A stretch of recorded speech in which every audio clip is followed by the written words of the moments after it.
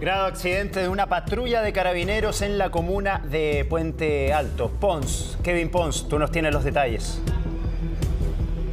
Sí, son dos carabineros quienes resultaron con lesiones producto de este accidente de tránsito, este choque que protagonizó esta patrulla policial aquí en la comuna de Puente Alto, en el sector de la avenida Concha y Toro con calle Sanugo. Este vehículo, esta patrulla policial que venía transitando en dirección al norte hace, hace algunas horas, este accidente que se produce ya al atravesar el sector de eh, Avenida Las Nieves es que llega hasta este lugar donde están las imágenes ahí de ese accidente, de este accidente, bien digo, al llegar a la altura de eh, calle Sanudo que termina colisionando y se ven afectados estos dos eh, oficiales, estos dos cabos, quienes iban en dirección al norte por este sector de la Avenida Concha y Toro.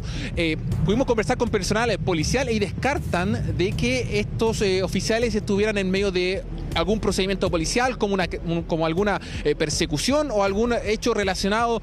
Eh, nos indicaron de que los oficiales están fuera de riesgo pero tienen lesiones de diferentes eh, consideración y están siendo atendidos. Fueron trasladados por personal de asistencia hasta el hospital de carabineros para poder constatar sus lesiones, pero estarían fuera de riesgo. Eso sí, con lesiones de distinta consideración, golpes en distintas partes de su cuerpo, según nos informaron. Ahora bien, ocurre que esto fue justo en el callejón de, en el corredor de los buses, donde pasa la, locomoción colectiva que a la altura del de, parado 34 de em, la avenida Concha y Toro. Y es por eso que como está este corredor cortado a la altura de eh, calle Las Nieves hasta acá, el sector de calle San Hugo, es que los buses tienen que desviarse y tomar la calle donde transitan los vehículos particulares. Y es por eso que también se presume que ahora que ya comienza prácticamente en algunos minutos más, ya la hora punta pueda ocasionar algún Em, algún problema con el tránsito, a lo mejor algún mayor eh, afluencia de tráfico, así que las personas que vayan a transitar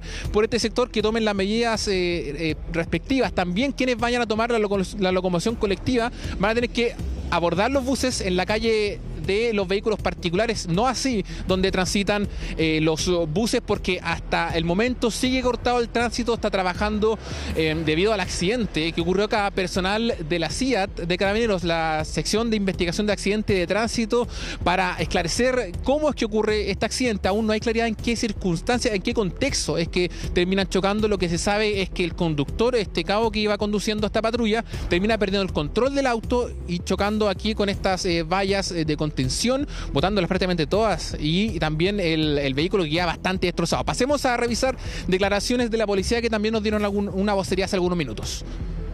Alrededor de las 5 de la mañana se produjo un accidente de tránsito que involucra la participación de un vehículo policial, mientras que el carro policial que se encuentra a mi espalda, de sur a norte con, por calle Concha y Toro, perdió el control del móvil eh, chocando con la barrera que se encuentra en el lugar. Se solicitó equipo CIAT para verificar eh, las circunstancias del accidente.